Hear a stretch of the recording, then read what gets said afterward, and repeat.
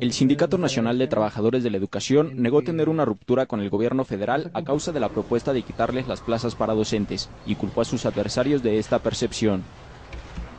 Claramente buscan generar la percepción de una ruptura y un enfrentamiento entre el CENTE y el gobierno federal. No vamos a caer en esa provocación absurda. La reforma educativa también contempla evaluar a todo el magisterio, con consecuencias jurídicas para quien no se someta a esta medida. Al respecto, el gremio magisterial dijo no tener problemas con esta iniciativa al argumentar que llevan años proponiendo esas modificaciones. Fue el CENTE quien, desde hace más de 10 años, solicitó la creación del Instituto Nacional para la Evaluación de la Educación para mostrar su compromiso con esta reforma, el Sindicato Nacional de Trabajadores de la Educación anunció que se sumará a las principales fuerzas políticas del país para que pueda ser aprobada. Y traza además una línea hacia el mejoramiento de la, de la calidad y de la pertinencia de la educación nacional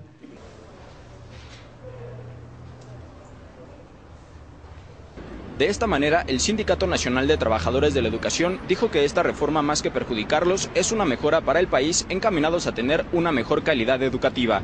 Jesús González, Somos Noticias, Mundo Fox.